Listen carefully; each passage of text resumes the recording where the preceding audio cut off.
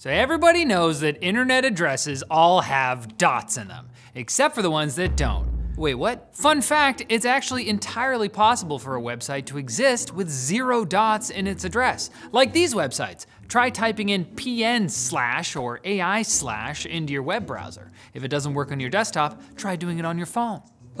and look at that, a couple of real, actual web pages without a dot in sight.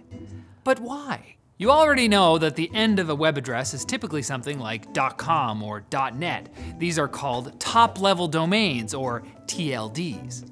No R. They help get you to the website you want, but as the name implies, they're still domains, meaning they can, in theory, direct you to a specific website on their own if you just typed in something like com or net with nothing else attached. The most common TLDs aren't associated with specific web addresses, but there are some two-letter TLDs that were originally meant to be used by folks within a specific country. So like a .uk TLD if you live in London and need to make a website for your fish and chip shop.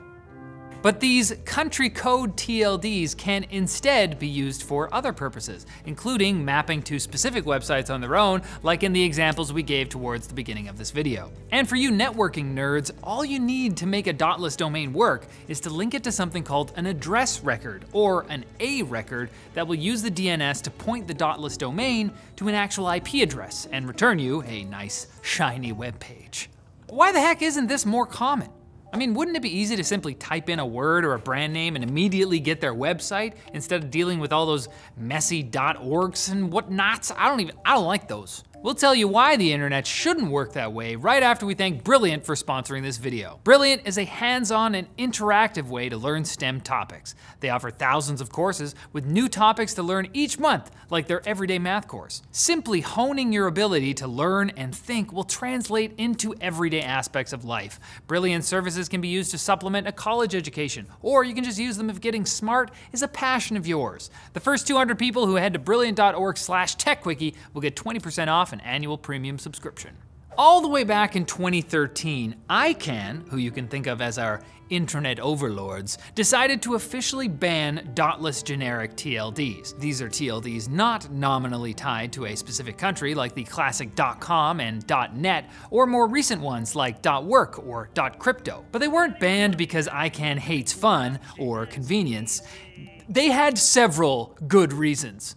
The first is that dotless domains actually are already in use, but they tend to be used on large internal networks that you might see inside something like a large corporation. There's actually a long history of users in these situations expecting a local site not an internet site, to show up. Extending this functionality to the public internet could cause a namespace collision. For example, if you expected Netgear to lead to both a private page for managing your local network's equipment and Netgear's official website because you feel like buying a new router today, your poor computer might not know how to handle that. It's a similar issue to why the examples we gave at the beginning of the video might work on your phone, but not your PC. And this fact actually highlights an even bigger problem, security. Because people have an expectation of trust when it comes to their local networks, it would be very easy to accidentally send sensitive data to a completely different public site that has the same dotless domain name. Even aside from that specific risk, many systems are configured in different ways to treat local addresses with more lax security. And if your PC thinks it's talking to a dotless domain on your local private network, but is actually connected to a public domain with the same name, that opens the door to myriad potential security holes and comedic situations. Finally, we'd be remiss if we didn't mention that dotless domains would largely break email.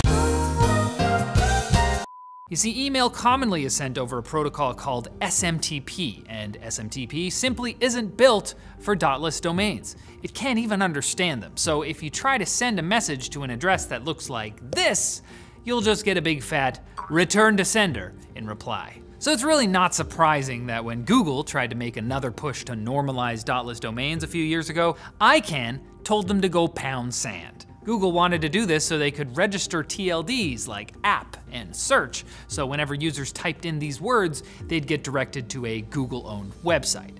Kind of reminds me of that time Subway tried to trademark the word footlong. You don't own sandwiches, Subway. Hey, thanks for watching this video, guys. Like the video if you liked it, dislike it if you disliked it. Check out our other videos, comment below with video suggestions, and don't forget to subscribe and follow for more videos like this one from Techquickie. And there are some other channels uh, out there too.